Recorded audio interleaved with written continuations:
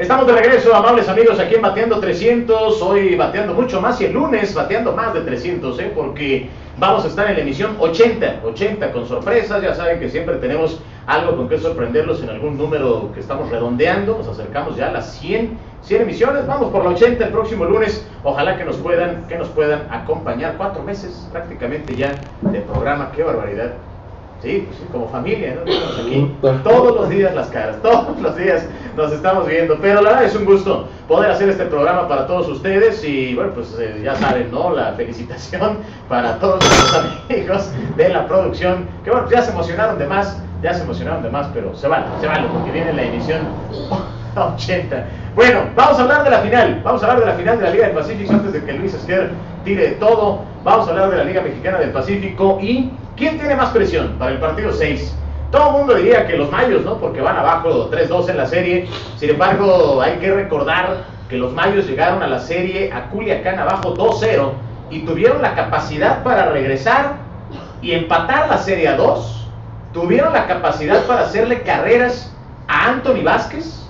Lamentablemente, bueno, pues ya falló el relevo de Edwin Salas y el home run de Milo y todo esto. Pero realmente los Mayos se han levantado de varias adversidades en esta serie, la lesión de Alan Sánchez, la salida de Héctor Velázquez, que ya no le dieron permiso de lanzar de parte de la organización de los Mediarrojas de Boston, son una serie de cosas y el objetivo principal, que era regresar la serie a Navojoa. Es cierto que solamente uno de cinco partidos lo ha podido ganar el local hasta ahora en esta final de la Liga del Pacífico, ¿eh? pero yo creo que si Culiacán mañana no se corona, no va a ser en siete juegos. ¿eh? Si los Mayos ganan el día de mañana, las posibilidades para ganar el séptimo serían mayores para Navojoa. Además de que Benjamín Gil ya adelantó que no va a utilizar a Anthony Vázquez como abridor. Si llega a utilizarlo, sería una situación de relevo en el séptimo juego. El partido de ayer, caray, buenísimo, buenísimo el partido. Anthony Vázquez seguía en plan enorme, blanqueando, los tomateros ganaban 3 a 0. Eh, apareció realmente el bateo por parte de este Andy Wilkins, que está bateando de manera descomunal, ¿eh? más de 4.50 el porcentaje de bateo que tiene en esta serie final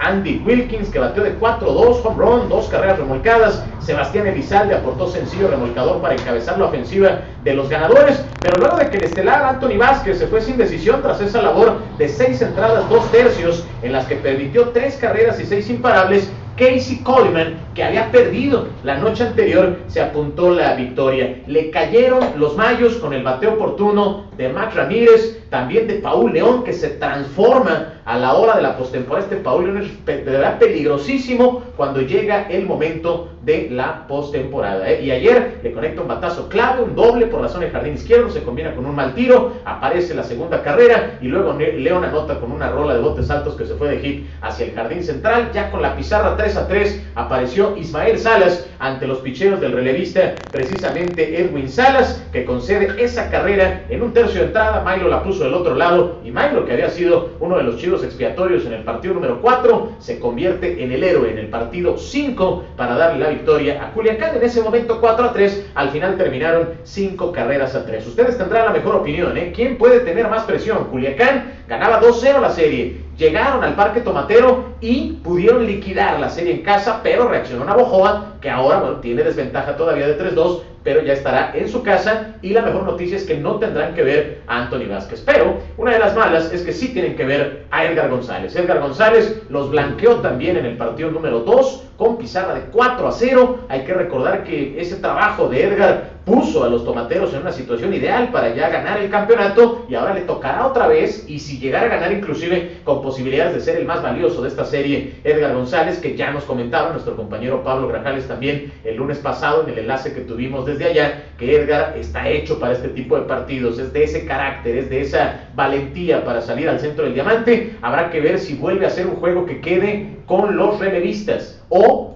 es un partido que termina definiendo el abridor. Ayer no fue con los abridores, lo de Barry Enright realmente no, no lanzó mal el norteamericano, dejó el partido perdido, pero terminó decidiéndose justamente con la labor de los relevistas. Y justamente relacionado a esto es nuestro siguiente tema, lo de Anthony Vázquez. Anthony Vázquez de repente apareció en escena en la Liga del Pacífico como una de las opciones de Benjamín Gil para ser uno de sus pitchers abridores. Al iniciar la campaña, recuerdo los reportes que decían Anthony Vázquez lucha por un lugar en la rotación de los tomateros que tenía 6, 7 abridores de calidad. Anthony Vázquez parece que estará en la rotación. Bueno, finalmente Vázquez consigue una temporada bastante buena, bastante sólida, pero nadie esperaba que su mejor momento iba a llegar en la postemporada. Ayer finalmente le hicieron tres carreras, pero la racha que tuvo de ceros de manera consecutiva es algo impresionante y de récord histórico también.